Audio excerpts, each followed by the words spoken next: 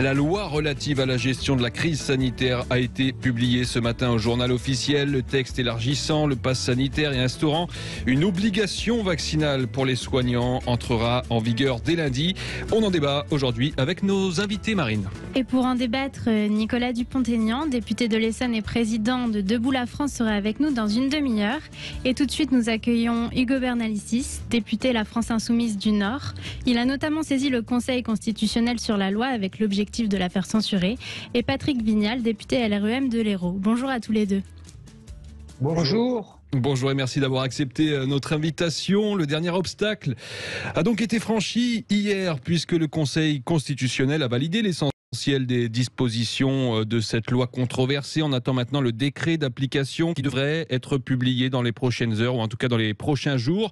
Mais la bataille n'est pas terminée. La contestation va se poursuivre, en particulier dans la rue. De nouvelles manifestations prévues euh, demain partout dans le pays.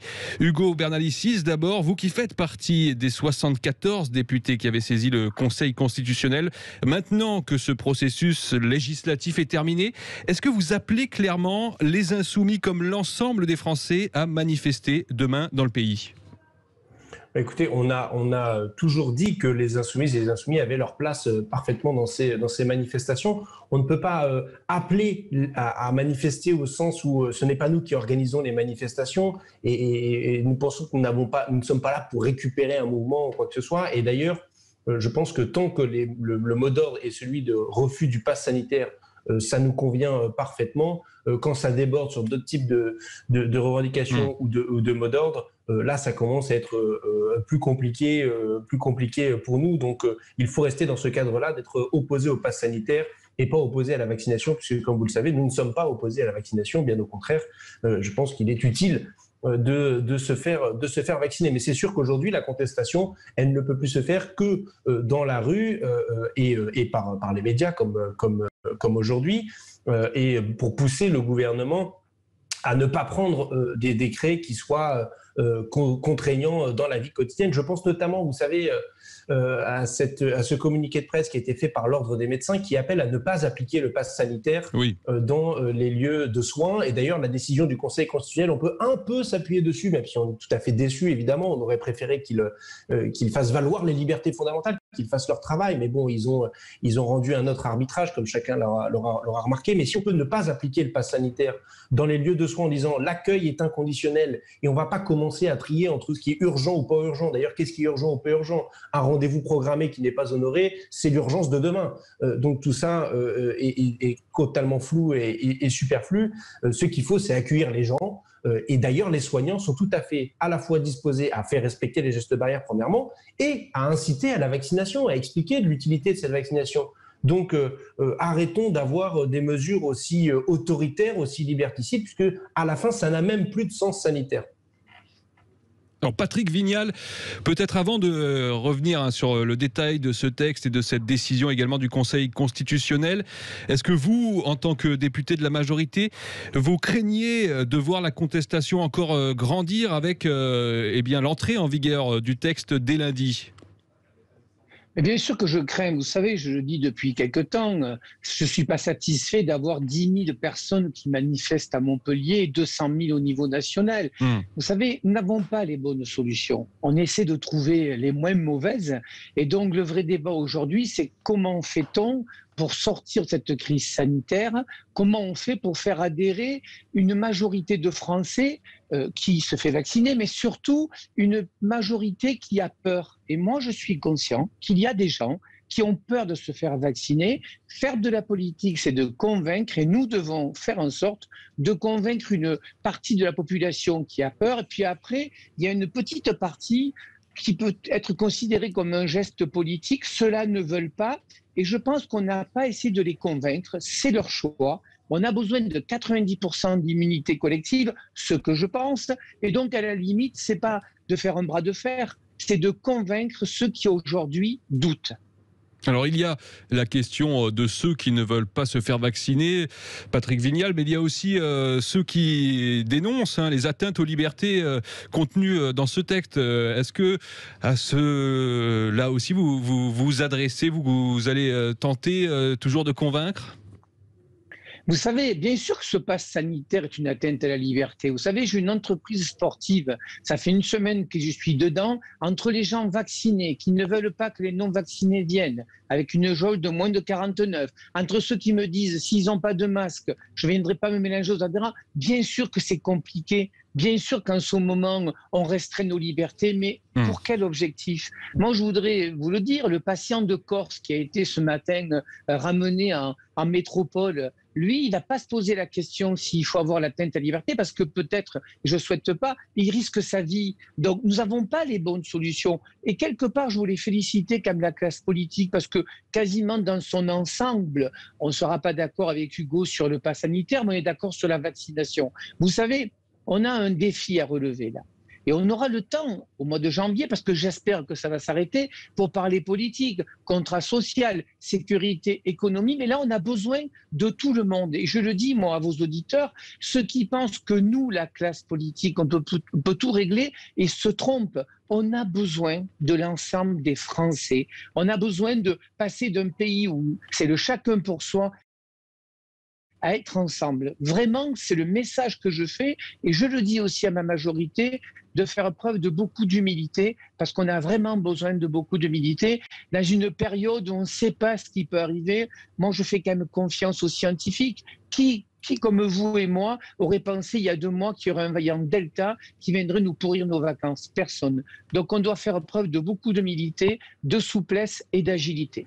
Le Conseil constitutionnel a donc approuvé hein, la majeure partie euh, de cette loi. Seules euh, deux mesures ont été retoquées dans la, décision rendue hier. L'isolement obligatoire euh, des personnes positives au Covid et le licenciement d'un salarié en CDD ou en intérim faute de passe sanitaire. Est-ce que Hugo Bernalicis, au moins sur ces deux points, vous êtes satisfait de la décision rendue par le Conseil constitutionnel? Ah, satisfait. On avait soulevé euh, le, motif d'inconstitutionnalité pour ces deux mesures. Donc oui, on nous a donné raison euh, là-dessus. Mais enfin, euh, on n'avait pas soulevé que sur la, rupture anticipée du hmm. CDD. Nous voulions la censure de l'intégralité de ce qui concernait le code du travail, c'est-à-dire la suspension de salaire pendant deux mois, parce que là, les, CDD, finalement, ok, ils ne seront pas virés du jour au lendemain s'ils n'ont pas le pass sanitaire, mais ils pourront être suspendus de salaire. Donc, est-ce que c'est mieux, est-ce que c'est pire? Bon, Ça ne règle pas complètement la situation de la précarité dans laquelle se retrouveront tout un tas de personnes euh, qui euh, n'auront pas réussi à, faire leur parcours vaccinal. D'ailleurs, y compris des personnes qui sont de bonne volonté. Et c'est ça qui est le plus dramatique avec ce, texte. C'est-à-dire que les délais dans lesquels on s'insère, finalement, fait que des tas de gens vont être contraints de faire des PCR ou des antigéniques tous les 48 heures pour continuer à vivre normalement, alors même qu'ils ne sont pas anti-vaccins et qu'ils voulaient se faire vacciner. Juste, ils avaient prévu de le faire en septembre parce qu'on ne pouvait pas, au mois de juin, on ne pouvait pas faire avoir une dose à un endroit et la deuxième dose euh, euh, sur son lieu de vacances. Enfin, c'est des choses concrètes et pragmatiques euh, de la vie de tous les jours qui auraient dû être réglées avant toute chose. Finalement, on est mauvais en logistique, c'est pas, on est mauvais, ce gouvernement est tout à fait mauvais euh, en logistique, et finalement, à la fin, la variable d'ajustement, ce sont les libertés, on a un conseil constitutionnel qui fait pas son boulot et qui valide le fait que, bah oui, vu la situation dans laquelle on se trouve, euh, bah, ma foi, euh, bah oui, restreindre les libertés, c'est légitime. Non, bah, je, pense que ce n'est pas légitime. Et je vais rejoindre une partie des propos de Patrick Vignal. Oui, il faut unir, oui, il faut, il faut serrer les coudes, il faut être dans la solidarité. Mais qui fracture le pays? Qui prend des décisions comme ça du jour au lendemain? Euh, euh, en passant par le Conseil de défense, en faisant une allocution télévisuelle, en méprisant le débat qui aura lieu ensuite à l'Assemblée nationale et au Sénat, c'est le président de la République. Enfin, c'est une responsabilité politique que de fracturer le pays ou de ne pas le fracturer, de l'unir ou de le désunir. Et moi, j'en veux, j'en veux énormément à ce gouvernement, sans compter que la parole publique est décrédibilisée systématiquement, mois après mois.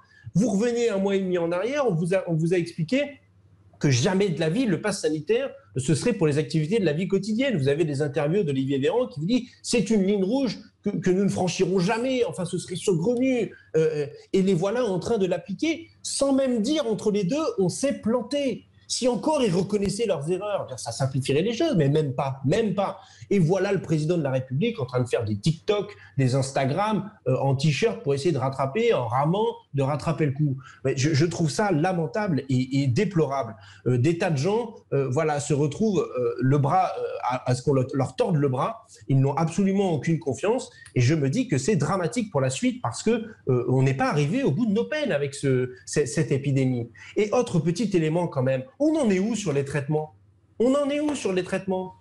On, a mis tous nos œufs dans le même panier, le vaccin, le vaccin, le vaccin, le vaccin. Mais si on a, si on a un, traitement qui est développé, ça pourrait aussi aider dans la lutte euh, contre le coronavirus pour les gens qui n'ont pas eu le temps de se faire vacciner ou ceux, il n'y en a pas beaucoup et la proportion est très faible, mais il y en a quelques-uns qui sont vaccinés, qui attrapent le coronavirus, le variant Delta, et qui développent des formes graves.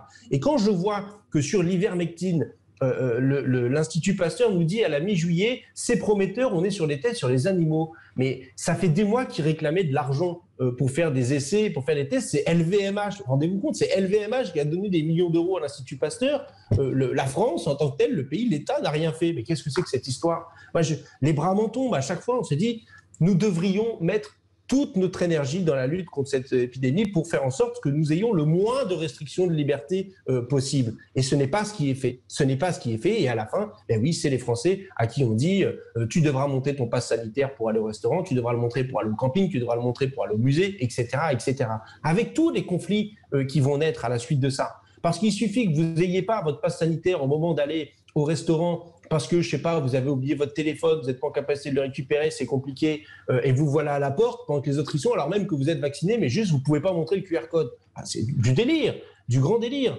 Euh, donc voilà, on va créer des conflits dont nous n'avions pas besoin pour gérer cette crise sanitaire, surtout que les Français, ça a été dit à de multiples reprises, déjà dans les sondages d'opinion, avant même qu'il y ait l'allocution du président de la République, les Français, dans une proportion au moins supérieure à 70%, étaient prêts à se faire vacciner étaient prêts à se faire vacciner. Et donc voilà qu'on vient tordre le bras à tout le monde. Je, trouve ça euh, euh, dramatique pour la suite des événements. Vraiment, je le redis euh, très sincèrement. Et regardez, même le Conseil constitutionnel s'est vu, bon ok, il a validé tout ça, et c'est déplorable, mais il s'est aussi fait tordre le bras avec un délai de huit jours, qui est le délai accéléré, et ils ont pris les huit jours pleins et entiers.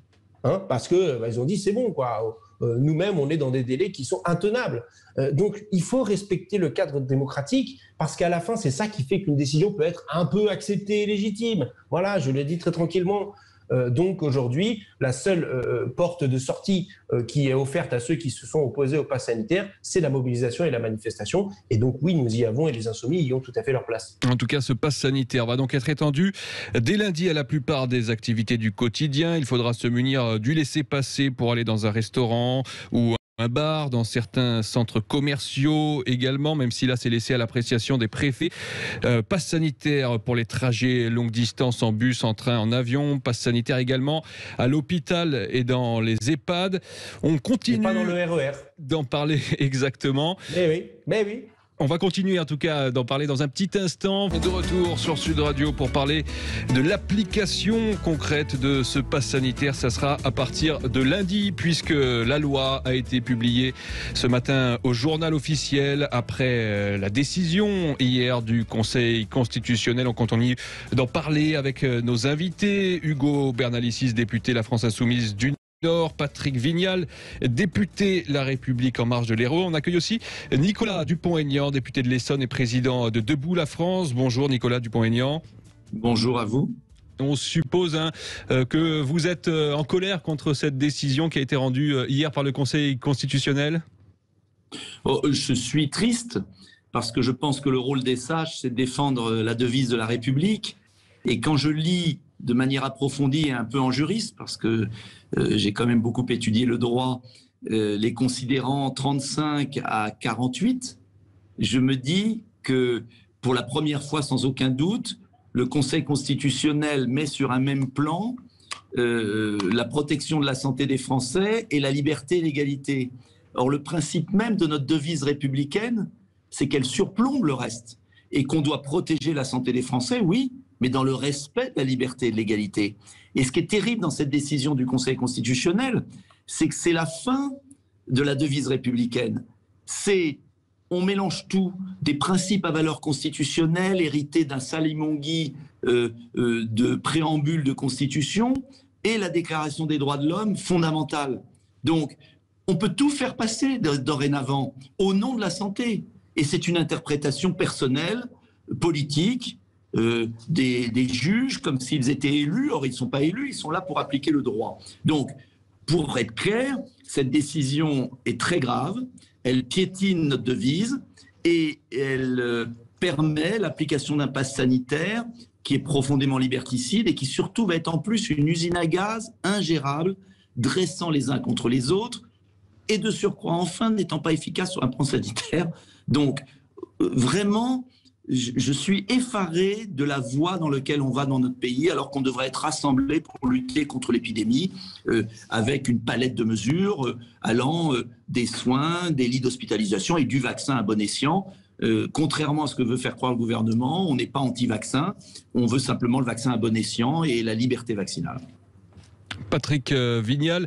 Nicolas Dupont-Aignan euh, parle euh, d'une usine à gaz. C'est vrai qu'il y a quand même un, certain nombre de questions qui se posent, notamment qui va effectuer les contrôles et surtout comment Est-ce qu'il y aura des contrôles d'identité Là, c'est pas vraiment encore très clair. Est-ce que vous pouvez nous expliquer, par exemple, les restaurateurs, on a compris qu'ils devraient contrôler l'application de ce pass sanitaire? Est-ce qu'ils doivent aussi contrôler l'identité? Là, eh bien, le Premier ministre nous avait dit non finalement, hein, c'est bien ça oui, d'abord, je voudrais dire que moi, je salue la décision du Conseil constitutionnel. Je pense qu'elle est juste et sage.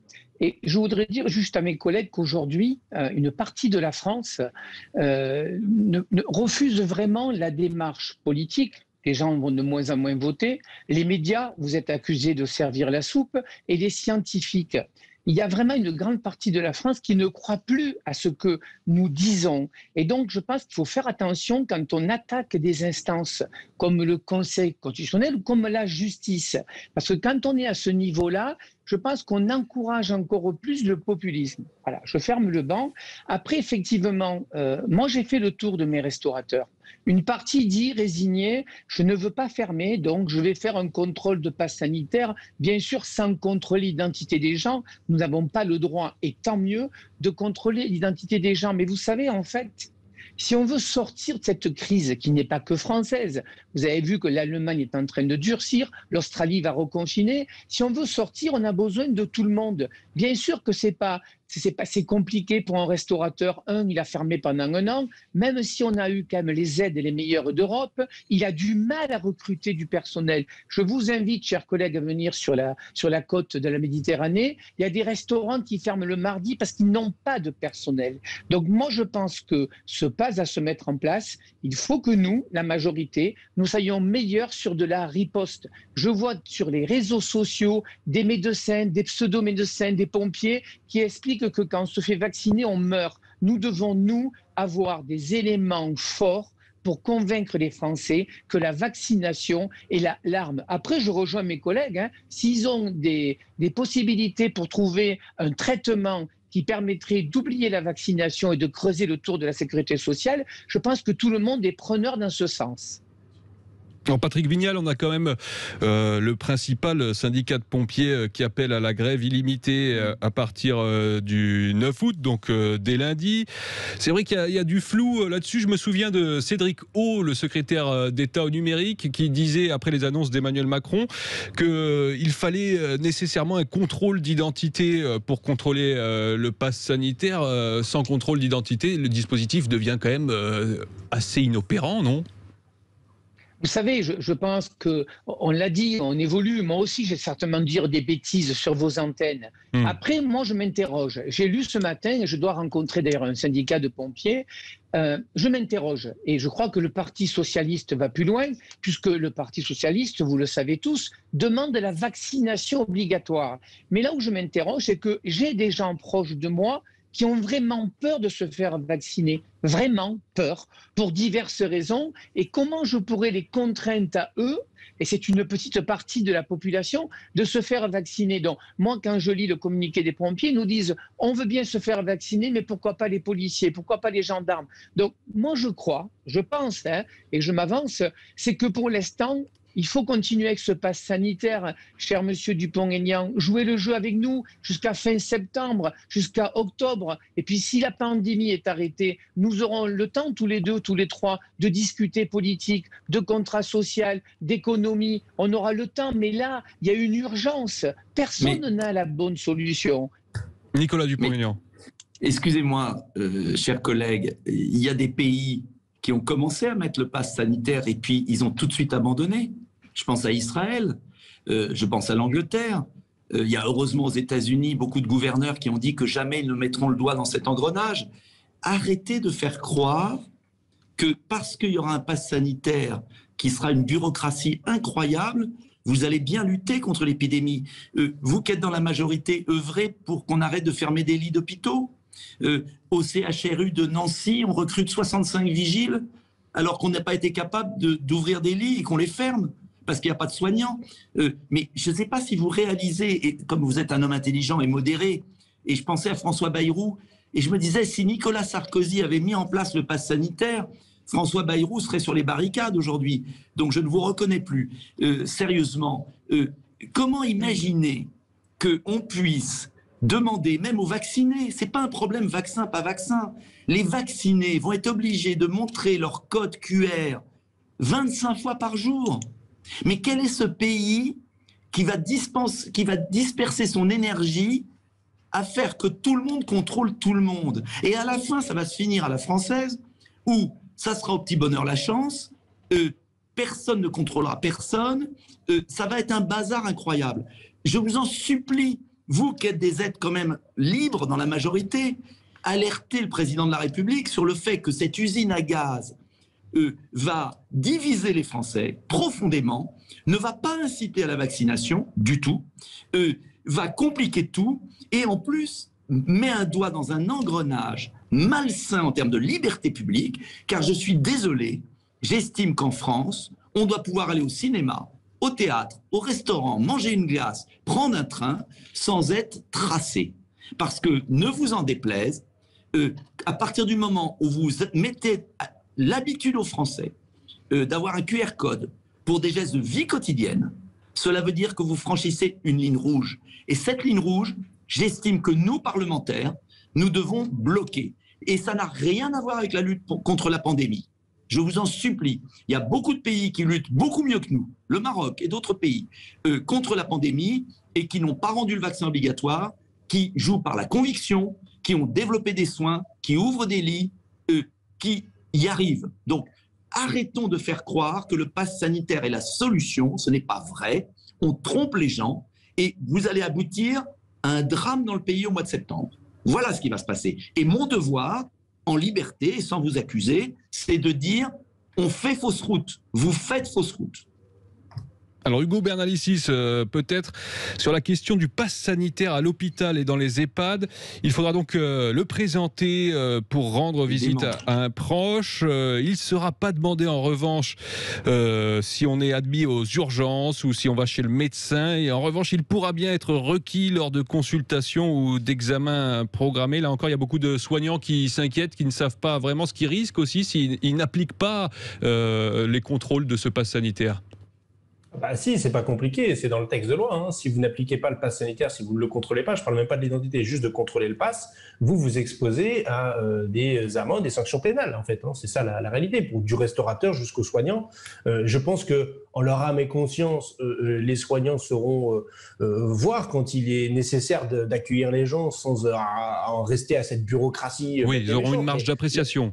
Bah oui, mais sauf que comme euh, ça a été dit tout à l'heure, dans bien des hôpitaux, on a des vigiles en première intention. Donc le vigile, il va pas faire une analyse de, soignant. Hein. Il va vous dire, vous avez votre QR code, vous l'avez pas, euh, bonjour, au revoir, vous l'avez pas circulé, il y a rien à voir. Et comme je vous l'ai dit tout à l'heure, un rendez-vous programmé, ça veut pas dire que, certes, c'est pas dans l'instant T urgent, mais un rendez-vous programmé que vous n'honorez pas, c'est l'urgence de demain c'est l'urgence de demain. Et donc, on va tout désarticuler, tout démantibuler euh, pour, pour, pour, pour quelque chose qui n'a pas de sens sanitaire, encore une fois. Et quand vous allez à l'hôpital, vaut mieux aller voir les soignants. Et si vous n'êtes pas vacciné, ben, ils vous expliqueront en quoi ça peut être utile de se vacciner euh, pour contre les formes graves, etc. Bon, on, en revient aux, mêmes, aux mêmes discussions que celles qu'on a eues euh, hmm. tout à l'heure. Mais vous savez, on avait plaidé au Conseil constitutionnel en disant euh, euh, ne serait-ce que sur la vérification du pass sanitaire. Je ne parle même pas de l'identité. C'est une mesure imposée par l'État. Ça devrait être aux policiers de vérifier, y compris si le pass sanitaire, euh, vous, l'avez ou pas quand vous êtes dans un restaurant, d'hôpital, etc. Ce serait dans leurs prérogatives normales et naturelles. Bon, le truc, c'est qu'on a une difficulté. c'est que vous pouvez avoir un, policier ou un gendarme qui n'a pas de passe sanitaire, qui lui va vérifier si la personne en face de lui en a un et est à jour. C'est lunaire. Et on voit bien que finalement, quand vous faites de la politique, les mesures, il faut qu'elles soient acceptées et acceptables, sinon ça n'a pas de sens. Et pourquoi n'ont-ils pas rendu obligatoire le pass sanitaire pour les policiers et les gendarmes? Parce qu'ils ne voulaient pas se les mettre à dos. Ils ne veulent pas les grèves y aura lieu demain pour les pompiers, puisque ce régime ne tient que par eux, ne tient que par la matraque, la capacité à réprimer et à contraindre. Euh, et donc là, on est, c'est la quintessence du point dans lequel on se retrouve. Et le pire dans cette histoire, c'est que le variant Delta étant hyper contagieux, se diffusant extrêmement rapidement, euh, euh, vous avez 96%, c'est ce que disait le Conseil scientifique il y a deux semaines, c'est les chiffres assez empiriques, hein, ce pas les chiffres de labo, mais 96% d'évitement des hospitalisations graves. Hmm. Si c'est le cas, c'est génial, c'est très bien 96%. Mais les 4% restants seront quand même hospitalisés. Et 4% de 1 million ou de 2 ou 10 millions de personnes si le variant se dissémine extrêmement vite. ça veut dire que vous aurez et le vaccin, et surtout et le pass sanitaire, et les contraintes de la vie quotidienne, et en plus des lits d'hôpitaux surchargés et des, manques de soignants en réanimation, parce que les soignants vous diront, mais attendez, il y en a ras-le-bol, euh, on vient là, on vient pour aider, y compris ceux qui sont dans la réserve, il ne faut pas les oublier, parce qu'on repose également sur eux, sur la réserve sanitaire, qui sont venus aider à de multiples reprises, et qui là disent, non, niet, non merci, pas dans ces conditions-là, pas en étant fliqués matin, midi et soir, pas en devant jouer le rôle de petit bureaucrate du QR code. Euh, et donc on va au devant effectivement de nouvelles problématiques sanitaires avec le passe, avec le pass. Et c'est là le drame dans lequel nous, nous retrouvons. C'est pourquoi nous avons dit à de multiples reprises, les mesures qui doivent être prises doivent être multiples. On n'a toujours pas de purificateur d'air dans les salles de classe euh, pour la rentrée. Alors, c'est pas la panacée, le purificateur d'air, ça ne tue pas le virus à 100% et ça brasse pas l'air à 100%. Mais enfin, c'est toujours ça de prix, faisons-le. On aurait pu mettre aussi, vous savez, des capteurs de CO2 dans les classes qui vous disent que quand le CO2 euh, il, est, trop important, hop, il faut ouvrir les fenêtres. Il y a un côté pédagogique, euh, bon, à, à faire ça. C'est pas fait non plus. Par contre, on a un Jean-Michel Blanquer qui vous explique qu'on va séparer les enfants qui ont plus de 12 ans entre vaccinés et non vaccinés si le virus circule dans la classe. Alors que ça, c'est pas prévu par le texte de loi. Et ça, le Conseil constitutionnel ne s'est pas prononcé sur ce genre de choses qui sont manifestement discriminatoires. Et j'espère que le Conseil d'État, le moment venu, euh, euh, censurera ce genre de mesures complètement dingues. Euh, pendant des mois et des mois, on nous explique que l'école, c'était hyper important, qu'on se contaminait pas plus à l'école qu'ailleurs, ou pas du tout, voire certains, des fois, il y a des mensonges éhantés sur la contamination. et nous voilà aujourd'hui rendus à, à, des annonces comme celle-là. Enfin, c'est ubuesque. Et puis bon, enfin, la parole publique est complètement décrédibilisée du début à la fin. Quand j'entends les ministres la semaine dernière, enfin il y a deux semaines, pardon, dans l'hémicycle, nous expliquer que quand on est vacciné, on ne contamine plus et on, ne, on, protège ses proches. Hmm. Mais si c'était vrai, ce serait génial et je serais le premier à taper des mains. Mais malheureusement, contre le variant Delta, la protection semble être de 50%. C'est déjà bien. C'est mieux que zéro. Mais enfin, vous pouvez contaminer. Et quand on vous dit que quand vous êtes vacciné, vous pouvez enlever le masque, et vous voilà avec des clusters, avec des gens qui ont le pass sanitaire. Et donc, bah voilà, vous. mais ça n'a pas de sens. monsieur, oui, euh, Nicolas Dupont-Aignan, s'il vous plaît. Oui, ce que je veux dire, c'est que mon collègue dit exactement ce que tout le monde pense. Ce qui est terrible, je vous assure qu'il y a un problème politique, moral dans le pays. Moi, ce qui m'affole, c'est la division des Français. Et ce que je déteste, c'est que le président de la République, qui est le garant des institutions normalement, et qui est censé rassembler les Français, en fait, perfidement, cyniquement, les divise, les dresse les uns contre les autres. J'ai vu cette séquence abominable euh, sur BFM où euh, on utilise des retraités qu'on instrumentalise pour aller surveiller leurs concitoyens. Mais jusqu'où on va aller dans notre pays? Vous savez, à force de jouer avec les nerfs des Français, qui ont subi des confinements, qui ont des pertes de pouvoir d'achat considérables, euh, les jeunes qui n'ont plus de boulot étudiant, qui ne savent pas comment ils vont repayer leurs études, euh, une jeunesse complètement sacrifiée. Mais est-ce qu'on réalise ce qu'on est en train de faire du peuple français? C'est vraiment jouer avec le feu. Et moi, j'ai vraiment le sentiment, euh, avec un peu de recul, qu'on a un président de la République qui, comme il a aucun bilan, et que le bilan est désastreux sur tous les points qu'il avait promis, finalement est dans une espèce de fuite en avant pour euh, effacer tout débat avant l'élection présidentielle et dresser les Français les uns contre les autres. Et ça, je ne lui pardonnerai jamais, parce que on n'a pas le droit d'utiliser les Français contre les uns, contre les autres. Et ça dépasse les questions politiques. C'est pas une question de clivage. J'ai été dans la manifestation, la première manifestation, il y avait des gens de tous horizons politiques. Hum. Et il y a une chose que je voudrais dire aussi. Où sont passés les syndicats? Qu'est-ce que font les syndicats? Ils ont disparu. Euh, Qu'est-ce que font les autorités morales euh, sur cet engrenage incroyable où on va être obligé de montrer un QR code toute la journée dans notre pays? Où ils sont passés toutes les belles âmes qui donnent des leçons à longueur d'année? Il n'y a plus personne. C'est très grave. Et la, coupure entre le peuple français euh, et les élites, entre guillemets, qui sont plus des élites, hein, qui sont des moutons, euh, les oligarques du régime, s'accentue. Et comment ça va finir? Dans la rue, avec des violences? Moi, je souhaite que ce soit dans le calme, que les gens manifestent dans le calme, dans la sérénité, et qu'on réconcilie les Français. Et on peut le faire. Les purificateurs d'air, la réouverture des hôpitaux de proximité, euh, les soins précoces, la fin du brevet sur les vaccins pour qu'on le donne aux pays pauvres. Parce que c'est pas parce qu'on va vacciner des jeunes qui n'ont aucun risque en France qu'on va éviter les variants. Le ministre de la Santé raconte n'importe quoi à longueur de journée. En revanche, ils ne veulent pas lever le brevet pour qu'on soigne en Afrique les personnes fragiles. Alors je voudrais quand même une réponse de, Patrick on Vignal. Marche sur la tête dans ce pays. Parce que le, temps passe vite. Euh, Patrick Vignal, beaucoup de points euh, abordés, mais peut-être la principale euh, critique que vous adresse Hugo Bernalicis comme Nicolas Dupont-Aignan, c'est de dire que vous donnez l'impression d'agir avec ce pass sanitaire et qu'au fond, vous ne luttez pas efficacement contre l'épidémie et que ce dispositif ne va pas tellement servir à quelque chose pour vraiment faire reculer le virus. Vous savez, notre société a tellement évolué que tout le monde s'investit d'une mission. Les politiques parlent à la place des scientifiques, donnent des chiffres. Certains scientifiques font de la politique. En fait, plus personne se reconnaît dans ce monde actuel. Moi, je ne suis pas scientifique. Moi, quand j'écoute Hugo Bernalicis qui me dit que le variant d'État Delta protège qu'à 50%. J'entends de l'autre côté que c'est 90%, mais... Je, suis pas oui, Une étude aussi de, l'Imperial College de Londres. Oui. Hein. oui, mais vous savez très bien tous qu'il y a des études qui sont financées, pas financées. Moi, je voudrais venir, je suis quelqu'un de pragmatique. Moi, je voudrais qu'on m'explique, euh, Monsieur Dupont-Aignan et, cher Hugo Bernalicis, euh, la personne est vaccinée. Comment on fait pour qu'elle puisse être dans un, environnement où les non-vaccinés ne puissent pas contaminer, même si j'ai compris qu'effectivement, en étant vacciné, on peut aussi donner le virus. Ça, c'est le premier point. Le deuxième point, est-ce que vous faites comme certains qui m'écrivent des mails, vous ne croyez pas que l'hôpital commence à être en tension et qu'on risque, comme c'est le cas en Corse, de faire des transferts de malades? Parce que moi, ah je, vais essayer de comprendre non, monsieur Dupont-Aignan, laissez-moi finir. Chers collègues. quasiment pas parler. Non, je vous en prie. Ou alors je vais oui, vous, vous parler, ça sera un monologue. je vous remercie. On, échange tous les deux à l'Assemblée et franchement, j'apprécie votre engagement aussi.